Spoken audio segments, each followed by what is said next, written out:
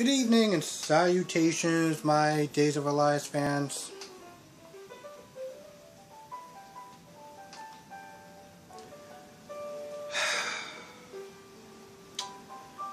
So, before we get into the episode, and my mood starts to go downhill a little bit, um, so I just checked out the previews to Beyond Salem. And, uh, I, I'm not gonna lie, I'm, I'm really excited for it. They're bringing back some old school people. Um, I think her name is Billie. I forgot the actress that plays her. I only remember her because she was on a show called um, Soap Talk with um, Ty Treadway. But I remember that was a character she used to play back in the day. And the trailer looks really good. The trailer looks really good. And it's one of those things where it's like, I know it's going to be like a little um, mini series or whatever. But if they plan on going like full steam ahead, and that's like the energy, yeah, yeah. Because I kept, and I was not just saying yes. I was like, you know, I don't know, because it's like three. You it's like three, you know, three soap operas, and you know, I'd rather do two great instead of three. Womp womp. Um, which I still do feel that way, but I um, I'm gonna be watching it. I mean, provided that you know, because I got Peacock, and um, you know, provided that there's not like a subscri- you know, well, if you want to sit there and see Beyond Salem, you got to pay X amount of money, whatever. Like if they're just gonna be showing it on Peacock, like for everyone to watch, yeah, yeah, yeah, I'm gonna be, I'm gonna be watching it, gonna be reviewing it. Um, I didn't think I actually would, cause whatever, um, the timing and everything like that. But I'm gonna, I'm gonna make the time. I'm gonna make the time. I really want to sit there and watch it. It's still kind of up in the air, but I'm like 99, 98% sure I'm gonna watch it and review it. Um, yes, I want to watch this. it looks good. Um, so, with that being said, let's get into this episode. Let's get into this episode because um, I have some choice words for a couple of people, You already know one person that I have choice words for. I'm just going to sit there and let you guess. And I'm going to sit there and get to the other two. Chanel and Chloe.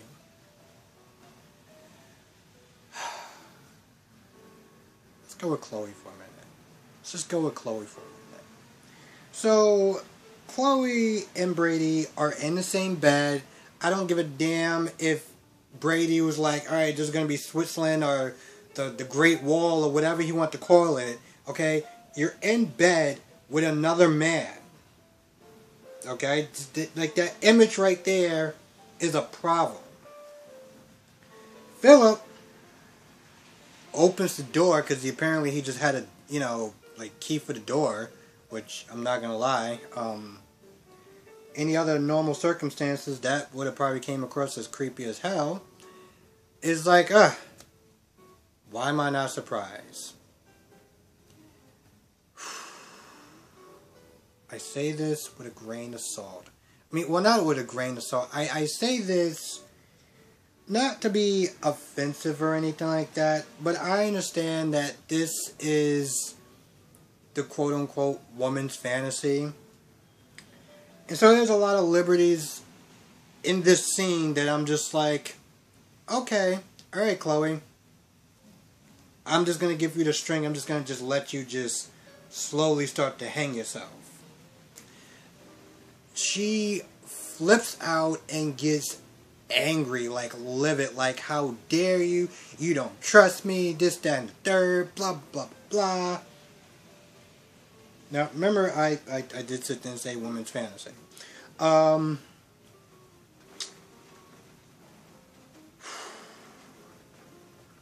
to her defense, to her defense, I mean, you know, she said that she was going to be going on a trip, a business trip with Brady, and that it's just business and nothing else. And he flies over there just to check. Okay? This is exactly what Bella was sitting there saying. So, to her defense, I understand why she flipped out because, you know, he did, she did sit there and say, one second. To her defense, she said she was doing a business trip, and this guy rushes over there just to make sure because, you know, he's jealous, comes across as jealous, paranoid, and all this other stuff. So I, I give that credit to her. That's the only credit that she's going to get this whole damn night. Chloe, how dare you actually sit there and try to take the high the, the high road on this? Like, well, not the high road, but the fact of the matter is, I don't give a damn what the situation is. Okay? If if a man sees their girlfriend in bed with another man, I don't give a damn what. I mean, unless y'all were like just escaping like death itself, um, it's a bad look. It's a hell of a bad look. So I do not blame Philip. At, honestly, tell you the truth, the fact that he was that calm is um, a testament of strength.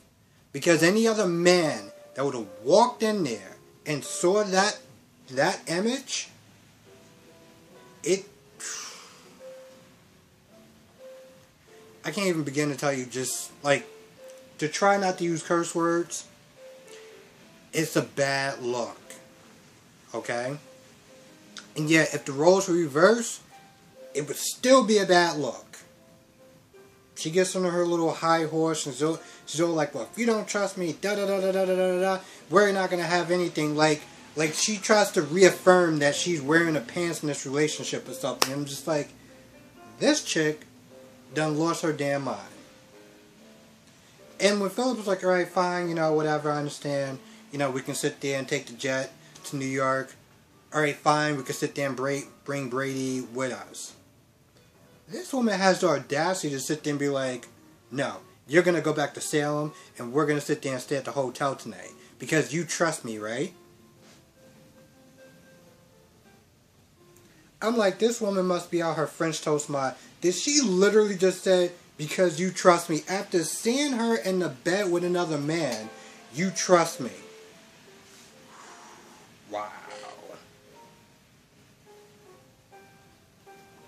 I'm like, girl?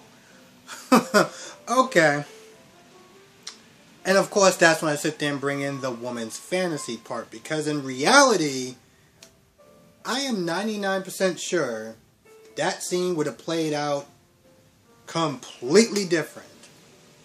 But, you know, for giggles and word I'm not going to say, Brady, uh, Philip agrees. Of course, this is after Brady, you know, acts like a child himself. You know, oh, you know, I'm touching her. Look, I'm touching her. Look at me, I'm doing this. Brady, how old are you? What that says, he leaves. And, you know, he gets back into bed and act like everything is just, oh, it's just business as usual. And she sleeps on the floor. And I'm sitting there looking like,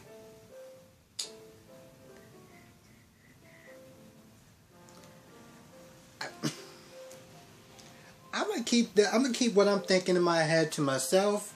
I'm I'm I'm just gonna look at it and be like, okay, cool. Allie, Allie is my next.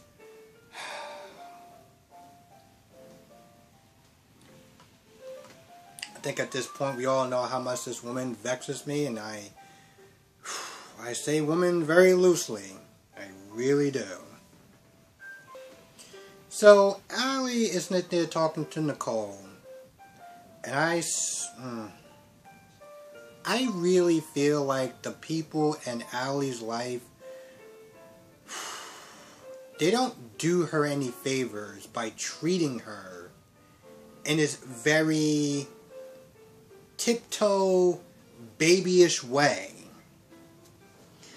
Um, I mean, she lays out that you know she she had had a fight with her brother about Chanel, and was not they calling him a player, this, that, and the third, and she quote unquote call herself doing you know doing something good and and looking out her for her friend, which is like complete and utter BS. But okay, sweetheart, continue.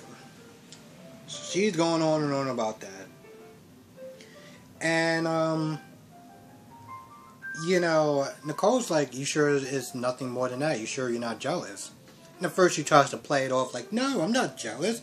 We're good friends and, and, and, and, and, and I'm with, what you call it, so we're all good. I love how you said that and I felt none of it. Like, the conviction wasn't there. None of it. And finally, you know, she's like, yeah, you know, um, Nicole kind of got her to sit there and open up by herself by talking about her experience with Rafe and how she felt jealous and called her friend a bunch of names and everything like that. And basically was like, listen, you need to sit there and talk to, um, you know, you need to sit there and talk to Chanel and really figure this thing out. Like, really figure out where your feelings are. You know, just Figure it out, like literally. Um, so she agrees to do that. And then Allie's like, you know, yeah, you're right, you know, like maybe I am jealous or whatever.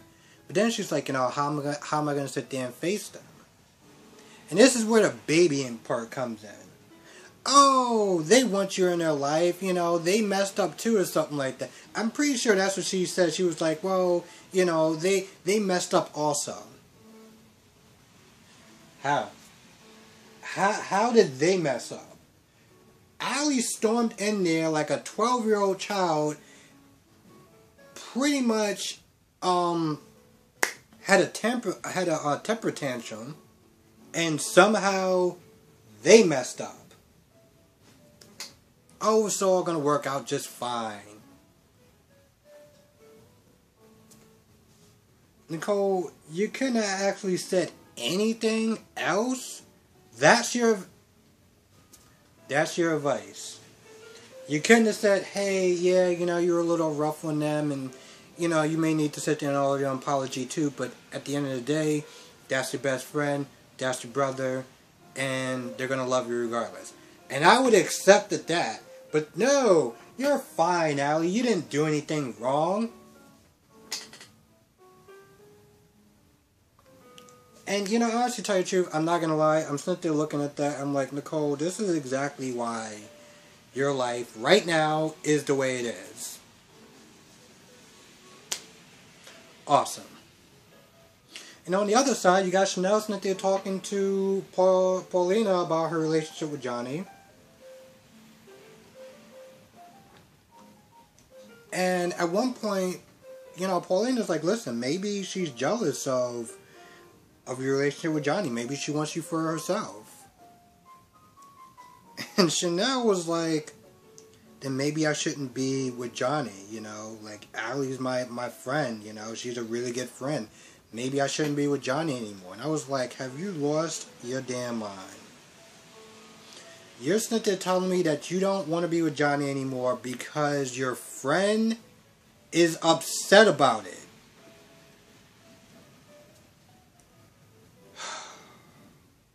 I don't even know what to say about that. I can't even sit there and fathom the level of stupidity that literally just came out her mouth. But there's hope. There's a light at the end of the tunnel. Pauline is like, listen, at the end of the day, that's your friend, and she wants you to be happy, and you know what? You are not gonna, you know, pretty much she's like, yo, listen, don't let Allie tell you what to do. If you want this guy, you want to be with this guy, you be with this guy. If she's your friend, she'll understand. Finally, the voice of re. It's the fact that she said that just irked the living hell out of me. Anyway, um, they they work they work that out. Rafe comes home, sees Ava in the dark, which I'm not gonna lie, is kind of creepy as hell. Um, with a suitcase ready, ready to leave. They talk things out, and I mean they actually talk things out. Like Rafe actually opens up and admits that you know, listen, we were friends, but I'm gonna be honest. Felt like I was crossing the line. I felt like I, I did start to have feelings for it. And I was like, bro, listen, I am so glad you said that because up until this point, you've been walking around with this high morale, like, you know, I get that Ava's being jealous and whatever, but, bro, it's not like she doesn't actually have anything to be jealous about. Like, you've been having fantasies about her, you've been having sex dreams about her, which. just like, you, you've been crossing the line, okay? and you've been sitting there looking at Ava like she's lost her damn mind. Like, what are you talking about? I don't have any feelings for her. What, what are you nuts? Oh, who, who are you gonna sit there and talk? Are you getting all jealous, no paranoid? I can't deal with your crap. Meanwhile, your feelings gotten so damn bad. You are imagining stuffed animals talking to you. So when he when he admitted it, after you told about Nicole kind of you know distancing himself from you know like the situation and understanding where where Ava's coming from, and he confessed that I was like, finally, you're actually on the same page. It took you long enough, but you got there eventually. So, good job. Anyway, they make up and um, they're back on track. EJ and Johnny. Also talk about the situation with Chanel and Allie. And I honestly tell you the truth, at first, EJ was just listening, being supportive, giving advice. Nice little father and son moment. Hell, actually lowered Johnny's um, guard down and, you know, he was you know, EJ was like, you know, I miss having talks like this, you know. And you know, he was like, he does too. He was giving him some really great advice as far as like, listen, you know, regardless of what Allison did telling Chanel, just be yourself. Just take it slow. Show who you are. Show your interest in her. And show her something beyond the fact that you're just going to sit there and try to better. And your actions and your personality will speak for itself, regardless of what she's saying. Um, so he was really giving some good advice. And then that didn't really last too long because, well, you know, he's EJ. And, um, you know, ulterior motives is definitely his thing.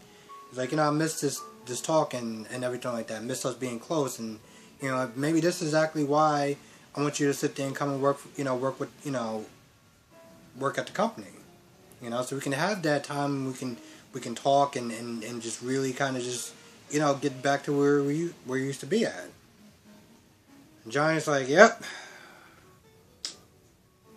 Manipulation. One of your many talents, pretty much. Calls him out for it. He's like, I'm not doing it. I want to be in film. EJ not liking um, pretty much Johnny saying no to him. It's just like, you honestly think that Chanel wants to be with somebody who can't make it, their dreams happen. Like, she's not going to want to be with somebody who makes films on a phone. Like, it's, it's not a passion, it's a pipe dream, pretty much. And just really just tears him down. And, you know, Johnny stands firm, like, yo, listen, I'm going to do what I want to do. And that's just how it is. And of course, EJ being EJ just has to get the last word in. Well, when she leaves you, don't sit there and say I didn't want you. Started off with a nice father and son moment and ended with, well, you know, another EJ moment. Was he always like this? I've heard he was actually worse. I mean, the fact of the matter is, what Lucas said, that there was a being that was like crushing him. And EJ was like, listen, I'll help you, but only if I could be with Sami in the, um, you know, do the Devil's Tango. He didn't deny it. Now, I don't know the whole story, so if anyone wants to really sit there and tell me about that, but, I mean, I guess this could be considered another classic EJ moment.